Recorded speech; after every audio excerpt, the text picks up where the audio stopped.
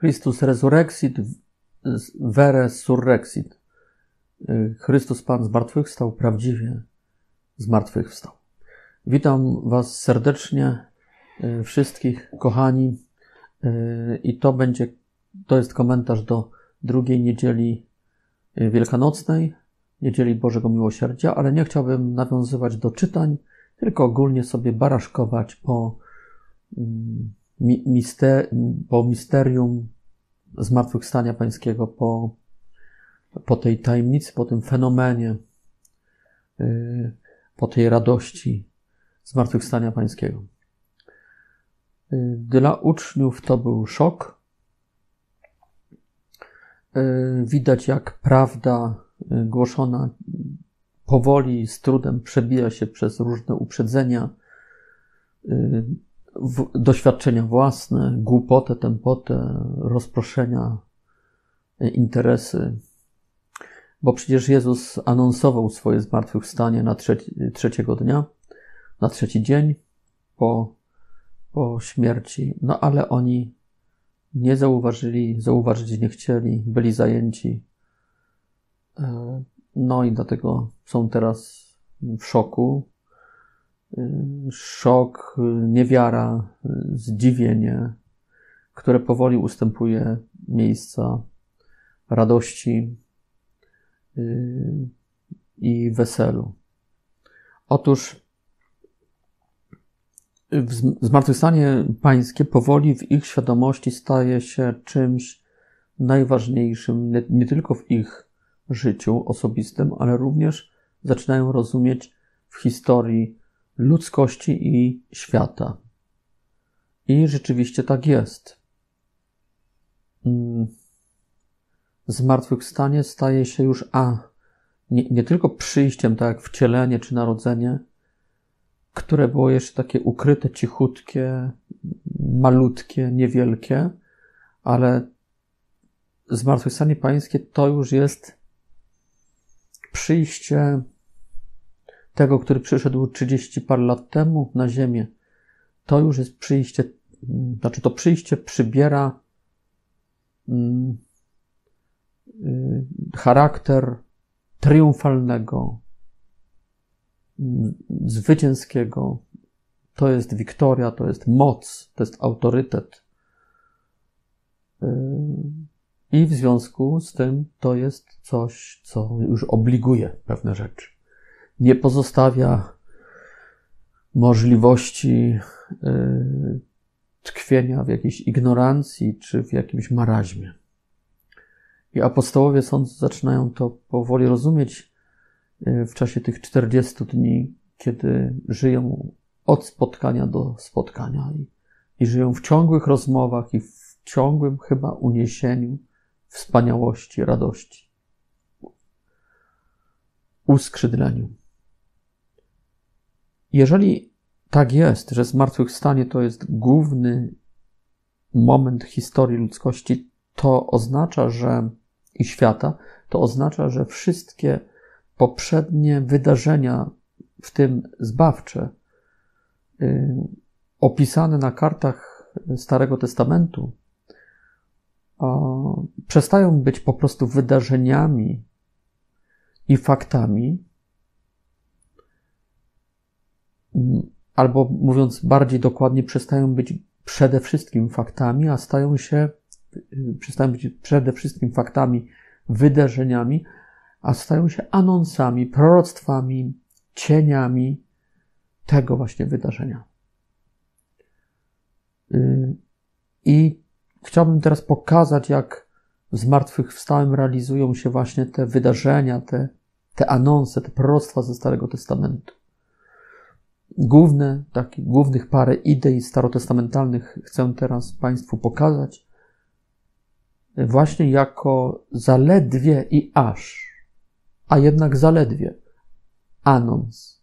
Czyli te fakty nie liczą się przede wszystkim jako fakty, jako wydarzenia z historii ludzkości, ale liczą się jako anons, jako tęsknota, jako proroctwo, jako wychylenie, jako oczekiwanie. Pierwsza taka idea starotestamentalna to jest idea stworzenia. opisana na samym początku Biblii w Księdze Rodzaju w dwóch pierwszych rozdziałach. Otóż, jeśli jest tak, jak, jak myślę, jak myślą apostołowie, Kościół, to stworzenie świata nie jest tak naprawdę stworzeniem świata. To jest dopiero stworzenie preludium, uwertury w operze. To jeszcze nie jest opera. To jest otwarcie, otwarcie pewne, ale to nie jest jeszcze pełnia rzeczywistości. To jest korytarz, a to nie są pokoje, salony. Tym, tym, tym bardziej to nie jest sypialnia, ani kuchnia. To jest wstęp, introdukcja, a to nie jest książka jeszcze. A więc stworzenie świata nie jest stworzeniem świata, jest tylko zapowiedzią prawdziwego stworzenia świata, które inicjuje zmartwychwstanie Jezusa. To Jezus stwarza prawdziwy świat, a ten świat stworzony wtedy, którym cieszą się nasze oczy i w którym żyjemy, no mówię, to jest zaledwie cień prawdziwego świata. Ten świat jest cieniem, zapowiedzią, anonsem prawdziwego świata, jest dźwiękiem, pustym dźwiękiem. A prawdziwa rzeczywistość nadchodzi wraz ze zmartwychwstaniem Chrystusa. A więc w jakim świecie żyją ci, którzy nie są w Chrystusie zmartwychwstałym, którzy nie są w Panu Jezusie, którzy, którzy nie uwierzyli, którzy Go nie znają, którzy nie żyją wraz z Nim Jego życiem? Oni są jeszcze cieniem, oni są jeszcze niebytem, oni nie przeszli do bytu. Są cieniem i niebytem. Niewierzący i amoralni lub wierzący i amoralni są cieniem i niebytem. Tak naprawdę. Są niebytem, czyli jak gdyby śmiercią, a nie życiem. Są niebytem, a nie bytem. Są cieniem, a nie przedmiotem, subiektem, rzeczywistością. Zresztą właśnie dlatego Jezus prawdopodobnie to chce zaanonsować już Jezus, że zmartwychwstanie ósmego dnia, a nie, pierwszy, a nie, czyli pierwszego dnia tygodnia, a nie na przykład siódmego. Bo siódmy dzień pierwszego tygodnia to było zakończenie stworzenia świata i odpoczynek, jak gdyby taki krótki odpoczynek na zakończenie tego, tej introdukcji, tej uwertury. Mm. Krótki odpoczynek w czasie pielgrzymki ku prawdziwemu światu, ku prawdziwemu stworzeniu. I to była ta finalizacja, ten szczyt pierwszego stworzenia, to świętowanie. Natomiast gdy Jezus ma zaczynać drugie stworzenie, to prawdziwe już i wieczne, to musi rozpocząć nie siódmego dnia w starym porządku, jeszcze w starym tygodniu, ale musi za, zainicjować nowy tydzień. Otóż niedziela to jest dla Żydów pierwszy dzień pracy. Pra, y, pracu, pracu, pracu, dzień y, pracy, dzień, w którym, tak jak u nas w poniedziałek, ludzie już nie odpoczywają, ale pracują. Biblijnie niedziela to jest pierwszy dzień stwarzania świata. Wtedy z ciemności wyłoniło się światło. Otóż właśnie w ciemności grobu e, zabłysło światło życia. W ciemności martwego ciała, w bezruchu martwego ciała, w ciemności grobu pojawia się światło i ruch, życie. Nowe już. E, I to życie nie jest prolongatą, to nie jest powrócenie do starego życia. Jezus się rozstaje w zmartwychwstaniu nie tylko ze śmiercią i z martwotą, ale też z pierwszym życiem. Mm, on nie powraca do pierwszego życia tak jak Łazarz wskrzeszony, czy córka Jaira, czy syn wdowy z Naim. Nie, to nie jest prolongata tylko starego życia, to jest, owszem, w jakimś sensie jest to prolongata, bo to jest ten sam Jezus, to jest to samo ciało, a więc to samo życie. Ale to nie jest takie samo mm, taki sam Jezus i to nie jest taki, takie samo ciało. To samo, ale nie takie samo. To samo, dlatego gdy wyjdzie z grobu, to już w grobie nie ma ciała. Ale nie takie samo, bo ma zupełnie inne możliwości. I w związku z tym to nie jest zwyczajna prolongata życia ludzkiego. To już jest życie o przebóstwione, ubóstwione. Życie, które posiada w sobie kategorie boskie, a nie tylko ludzkie. I kategorie wieczne, nie tylko tymczasowo ziemskie. To jest fizyka chwały, a nie fizyka Newtona czy Heisenberga. To jest, to jest absolutna nowość w dokładnym tego słowa, tych słów znaczeniu. Absolutna nowość, bo to jest życie już absolutu. Ciało Jezusa, natura ludzka Jezusa, psychika i fizjologia mają możliwości boskie. Stąd też on pojawia się i znika, stąd jest niecierpiętliwy, nic go nie boli, rany go nie bolą, nie czuje głodu, nie czuje strachu, lęku, nie spieszy się, chyba że z miłości. E, jego rozum wszystko wie, ma moc boską i światło rozumu boskiego w sobie, ludzka natura Jezusa. A więc pozostając ludzką, zostaje, zostaje pomnożona, zostaje ta zasłona między człowiekiem a Bogiem w Jezusie Chrystusie zostaje rozdarta następuje zjednoczenie, choć nie zmieszanie. I dzięki temu ludzka natura może korzystać ze wszelkich prerogatyw boskości, nie przestając być ludzką. To właśnie oznacza, że Jezus w swoim ciele usiadł po prawicy Ojca, czyli ad dextram patris, czyli, czyli jest równy Bogu, gdy chodzi o ciało.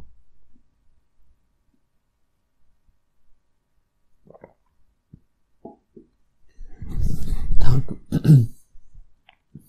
No i Jezus Chrystus pojawia się przed apostołami, bo ten dar nowego życia nie ogranicza się tylko do jego osoby, ale on się będzie, będzie ekstrapolował na wszystkie osoby gotowe wejść w to nowe życie przez zmartwychwstanie.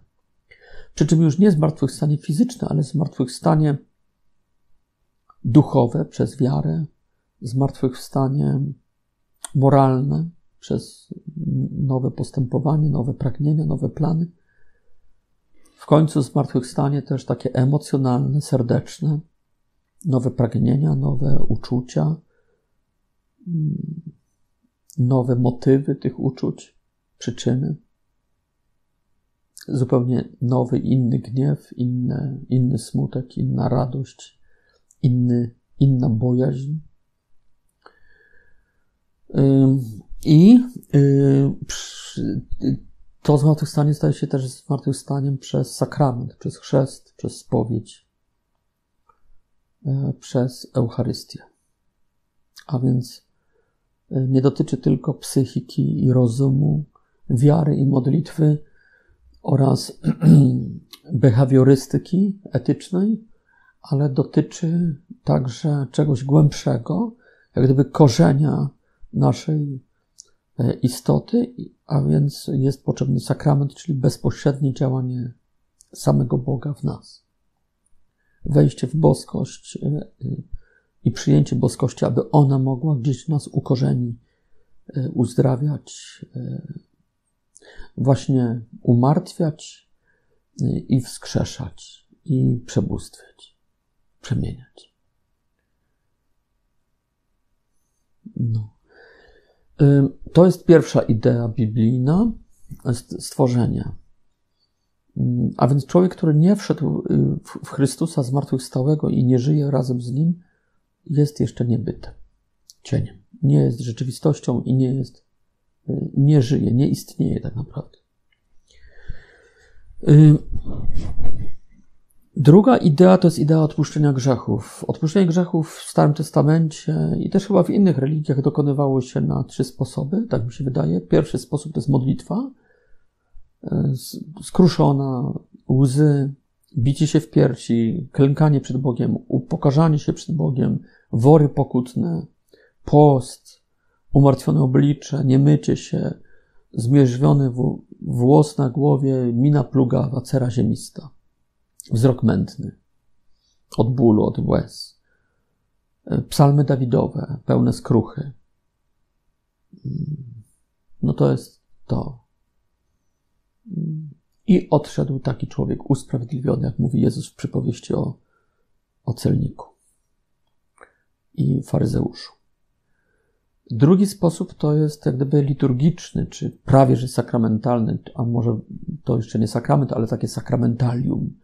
Czyli grzesznik przyprowadza, albo grzesznicy jako naród przyprowadzają kozły, cielęta, barany, coś tam jeszcze i kapłan, do kapłana, kapłan to przyjmuje, kładzie ręce na to zwierzę, jak gdyby w geście przekazywania wszelkiego brudu z tego człowieka, z tej społeczności na to zwierzę, po czym następuje albo wygnanie tego zwierzęcia na pustynię, y, albo ofiarowanie na miejscu, zabicie tego zwierzęcia i w ten sposób te wszystkie grzechy znajdują swoją, swój, y, są uśmierzone gdyby przez tę ofiarę, przez tę śmierć. W zamian za człowieka, który powinien był zginąć, przyjąć śmierć jako karę od Boga za swoje grzechy, ta kara zostaje scedowana na, przekazana temu zwierzęciu i zwierzę ginie w zamian za człowieka. No otóż to jest drugi sposób e, otrzymywania przebaczenia grzechów w Starym Testamencie. I trzeci sposób, no, gdy ktoś się jakoś tak nawracał, gdy zamknięcia się otwierał i, i wychodził ku ludziom, czyniąc im dobro, miłość, pomagając wdowie, sierocie, przybyszowi, czy, te, czy komuś w potrzebie, udzielając pożyczki i tak dalej, gdy czynił dobro, gdy y, sporządzał y, jałmużnę. To też wtedy jego grzechy, choćby były jak purpura, stawały się jak śnieg, czy jego dusza czysta. No i te trzy sposoby wydaje mi się, że widzimy w Jezusie Chrystusie, nie zmartwychwstałym, ale ukrzyżowanym, bo On w ukrzyżowaniu modli się, y, jest upokorzony, jest posłuszny Bogu, jest pogodzony z Bogiem, modli się za prześladowców i, i ta modlitwa w upokorzeniu, we łzach, w szczerości, w skrusze i w zgodzie z Bogiem, to jest, wysługuje nam oczywiście odpuszczenie grzechów. No bo przecież nie jemu on nie musiał się modlić do Ojca za siebie. Y, druga, drugie to jest ofiara. No on jest tym barankiem. Na niego Bóg przerzucił, on też jest Bogiem, więc on jako Bóg przerzucił na siebie, jako baranka, grzechy nasze, stawszy się naszym też bratem, przyjacielem. Wziął grzech na siebie i spłacił ten dług, zapłacił za grzech swoją śmiercią, swoją męką. I trzecie, że czynił dobro. No. Całe życie pracował, świecił przykładem, pomagał, uzdrawiał, rozmnażał, przemieniał, rozweselał, pouczał.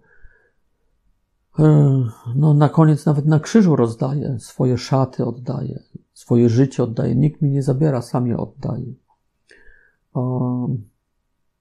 Mamusie oddaje, ducha swojego, ostatnie tchnienie oddaje, krew i wodę oddaje, na końcu ciało pozwala zdjąć z krzyża i oddaje ciało swoim, w ręce swoich przyjaciół. No tak więc czynił maksymalną jałmużnę. Potem nawet to miejsce, na którym był zabity, z tego miejsca czyni sanktuarium, a więc to miejsce też oddaje. Swój grób oddaje potem pielgrzymom. Y, krzyż jako, miejsce, jako nie miejsce, tylko jako narzędzie kaźni y, też oddaje jako relikwie, jako źródło łask, podobnie jak sanktuarium, czyli przestrzeń, miejsce, topografię. A więc jest maksymalne nastawienie na oddawanie, na obdarowywanie. Tak więc mamy modlitwę, ofiarę i jałmużnę. I zmartwychwstały Pan pokazuje efekt otrzymanego odpuszczenia grzechów, bo z grzechem jest powiązana y, kara. No na przykład, że człowiek, który, który grzeszy na grzech, czyni go niewolnikiem, czyli poprzez, staje się wadą, czyli drugą naturą, naturą nabytą niestety. A więc grzech staje się, y, powtarzany grzech staje się mm, zniewoleniem, czyli wadą, czyli łatwością powtarzania tegoż grzechu. przetartym szlakiem, tak? Potem za, karą za grzech jest e, utrata Boga, utrata łaski, jest śmierć też, wygnanie z raju, tak? Czyli cierpienia, mm, wszelkie cierpienia psychiczne, fizyczne, społeczne, w końcu śmierć, piekło. I teraz zmartwychwstały Pan demonstruje, że brak jest tych konsekwencji grzechu. Nie jest, nie, nie jest w ciele cierpiętliwym, no bo rany go nie bolą. Nie jest tak naprawdę głodny. Je dlatego, że mu to sprawia przyjemność i że to zbuduje uczniów, ich wiarę. Y, czuje się dobrze, jest szczęśliwy, nie jest wystraszony, nie jest smutny, nie jest zagniewany, niczego już nie pożąda, jest spełniony, już nie jest nie, nie, nieśmiertelny, nie umrze. Mało tego, doszedł do zjednoczenia z bóstwem. Doszedł do pełni obiecanej Adamowi i Ewie. Stał się Bogiem jako człowiek. Dzięki przebóstwieniu, dzięki nabyciu możliwości boskich dla rozumu, dla woli, dla serca, gdy chodzi o uczucia. E, tak więc e, ten zmartwychwstały po prostu promieniuje owocami uwolnienia od grzechu. Ten grzech pokonał wszelką wadę, wszelkie zło w sobie, którego kusiło, pokonał. I teraz już jest wolny. Notabene jest wolny też od pokus, od nieprzyjaciela. Już ani świat nie ma do niego przystępu to on robi sobie przystęp nawet nie do świata, tylko do kościoła, już nie. Do świata, ze światem się nie kontaktuje. Kontaktuje się tylko z kościołem, tylko z uczniami. Nie jest już jak gdyby w, na świecie, ale kontaktuje się z kościołem jako boską enklawą w tym świecie. Nie kontaktuje się już z szatanem, nie ma pokus. Tak więc zmartwychwstały Pan demonstruje że grzech został przezwyciężony i że on prowadzi już życie wyrwane z niewoli grzechu.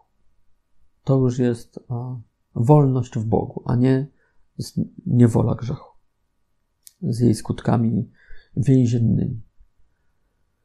A więc on wyszedł z więzienia skutków grzechowych, które przyjął był, choć sam nie zgrzeszył.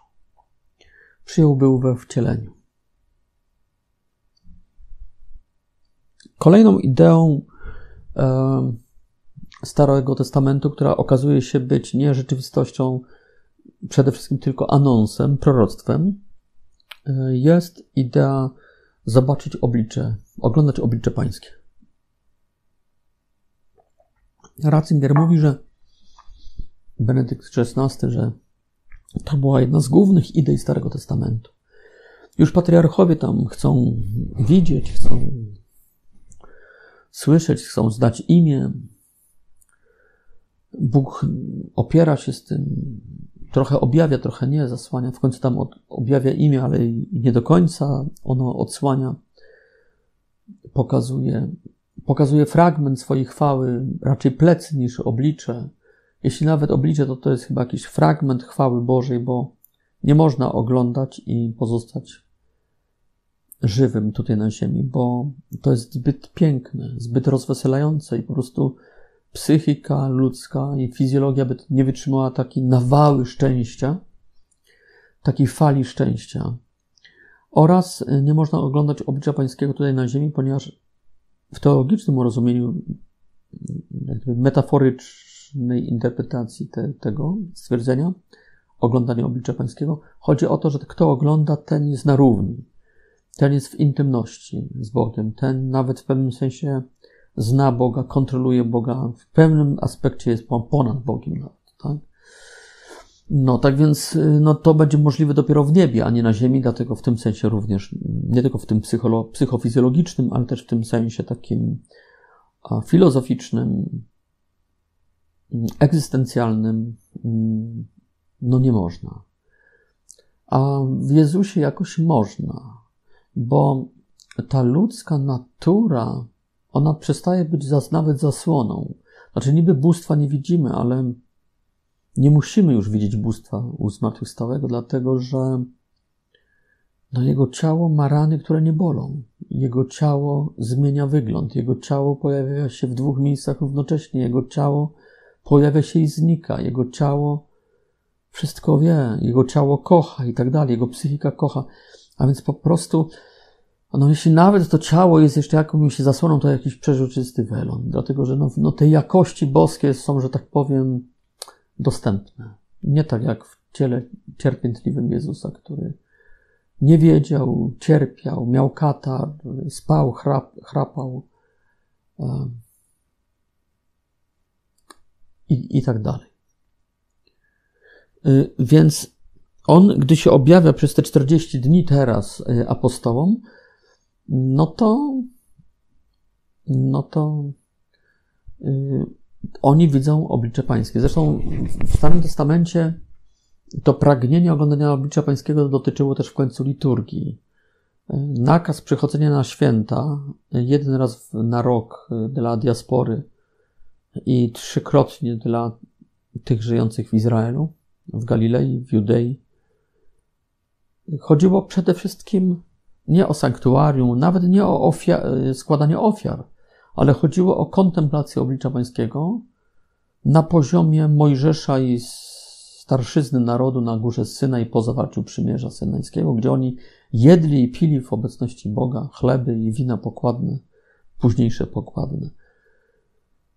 I patrzyli na Boga i nie, nie umarli. I właśnie gdyby prolongowaniem tej, tej, tej, tego bycia z Bogiem, oglądania Boga, słuchania Jego słów, słyszenia Jego słów i właśnie weselenia się przy, przy stole, suto nakrytym, bogato nakrytym, prolongatą staje się liturgia właśnie w tych swoich kulminacjach świątecznych.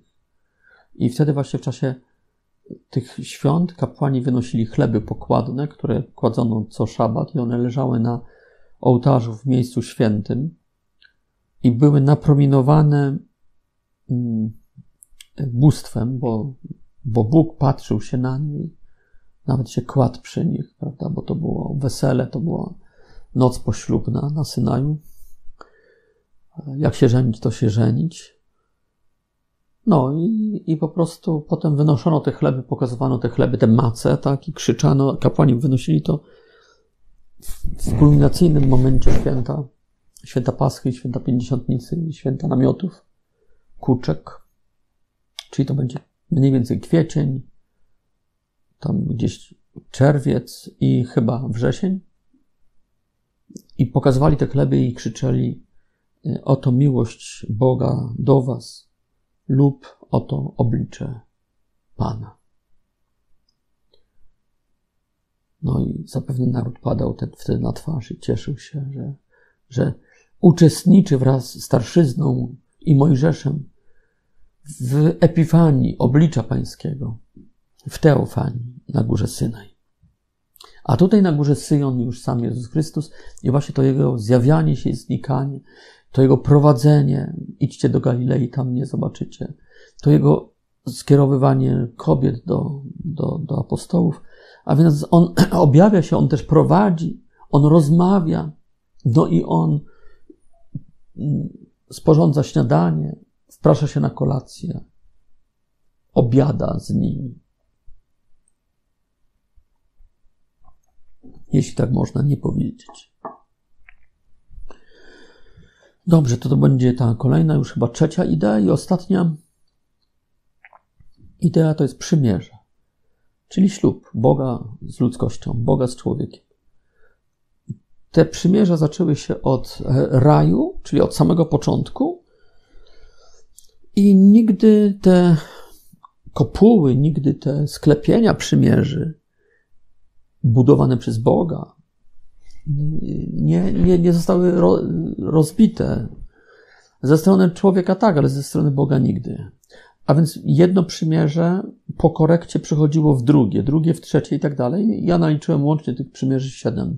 Pierwsze przymierze rajskie z Adamem, drugie przymierze, gdy musiał skorektować, no bo Adam z Ewą to rozbili to, co mogli rozbić, więc Bóg tam musiał troszeczkę poprzedstawiać pewne rzeczy i płynnie przechodzi z pierwszego w drugie ze swojej strony. Drugie przymierze na progu y, wygnańców z raju. Y, trzecie przymierze to jest z Noem. Bóg próbuje znowu jak gdyby powtórzyć stwarzanie ludzkości w świecie już stworzonym. Czwarte przymierze Bóg ogranicza swoje aspiracje jak gdyby do jednego człowieka, jednej rodziny, jednego klanu z Abrahamem. To jest czwarte. Piąte przymierze to jest y, z tego klanu wyrósł wielki naród po kilkuset latach, tam po pięciuset latach.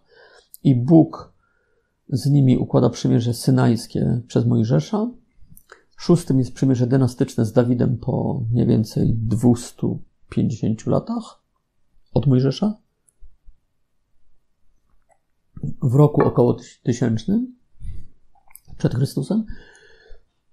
I w pewnym momencie mamy już Jezusa Chrystusa, który w Wielki Czwartek mówi: Oto krew nowego, czyli siódmego, wobec, gdy chodzi o tę moją rachubę, i wiecznego, czyli już ósmego nie będzie, przymierza. No oczywiście te wszystkie przymierza wchodzą ze swoimi obietnicami i pewnymi wymaganiami. W każdym przymierzu trochę inne są te wymagania, chociaż w istocie to jest cały czas to samo. W każdym razie te przymierza się kumulują, kulminują i kumulują w Jezusie Chrystusie. Nic nie zostaje utracone, wszystko to jest objęte, ogarnięte i Jezus dodaje jeszcze, mnoży to przez nieskończoność, a więc absolutyzuje obietnicę przede wszystkim. I sam wypełnia e, przede wszystkim e, wymagania tego przymierza. A przymierze to jest ślub. To jest ożenek. Jak się żenić, to się żenić. A potem życie po orzenku jest, e, to jest wesele i, i życie małżeńskie, życie rodzinne. I życie szczęśliwe za górami, za lasami, za jeziorami. Żyli długo i szczęśliwie. I w tym sensie Jezus Chrystus zmartwychwstały, On e, jest, On jest twórcą kolejnego przymierza i On obejmuje wszystkie poprzednie i to już jest przymierze ostateczne. On jest oblubieńcem. To już nie jest ojciec, tak jak było powiedzmy w raju, czy z Noem, czy z Abrahamem, ale to już jest bardziej oblubieniec, tak jak troszeczkę już z narodem żydowskim na Synaju, w tym czwartym, e, w piątym, przepraszam, przepraszam, przymierzu. Jezus się tutaj jawi Marii Magdalenie. Dlaczego on przychodzi wpierw do dziewcząt, do kobiet? No właśnie, żeby jak gdyby pokazać, że on przychodzi jako oblubieniec, a Kościół jest jego oblubienicą, stąd ten żeński element. Wpierw te kobiety o świcie, mężczyźni się zjawiają dopiero raczej po południu. Do mężczyzn przychodzi w popołudniu, zaczynając gdzieś w południowej porze pewnie od Piotra, a kończąc na innych apostołach, uczniach y, po powrocie Emausowców do, do wieczornika, wieczorem. Yy. No, a więc to jest oblubieniec, a więc proponuje nam miłość i zjednoczenie. I właśnie dlatego y, miłosierdzie, pełnia miłosierdzia wyraża się nie tyle w odpuszczeniu grzechów, bo to jest też jak gdyby jedna czwarta, powiedzmy, na krzyżu, ale wyraża się właśnie w tym zaproponowaniu przymierza, w tej oblubieńczości, w tej miłości, w tym życiu małżeńskim, które właśnie wyraża przyjście Jezusa Chrystusa do Marii Magdaleny albo do siostry Faustyny. Stąd na obrazie Bożego Miłosierdzia, dzisiaj mamy Niedzielę Bożego Miłosierdzia, jest nie Jezus ukrzyżowany, tylko Jezus zmartwychwstały, bo prawdziwym miłosierdziem nie jest nawet odpuszczenie grzechów, ale jest doprowadzenie człowieka do pełni, a pełnia to jest miłość w relacji z żywym, żyjącym na wieki Panem. Dziękuję Wam za uwagę. Niech się Wam wspaniale darzy.